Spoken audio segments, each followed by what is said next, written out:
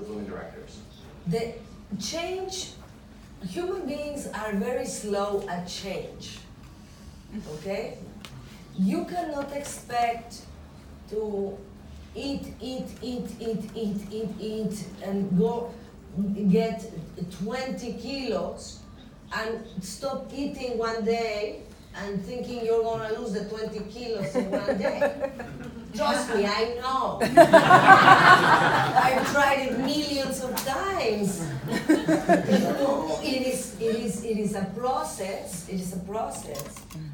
Uh, but it is definitely happening. Maybe you don't see the difference in the numbers because it just happened this year.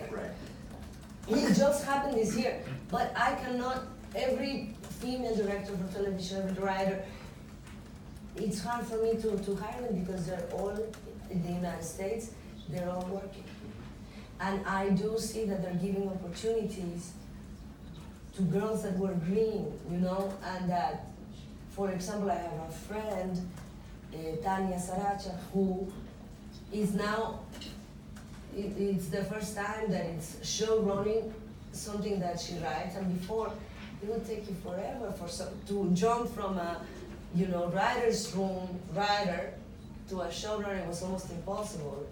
And now it's like, is she a woman? Yeah, get her on the show. Is she, you know, uh, it worked, and I think we should enjoy it.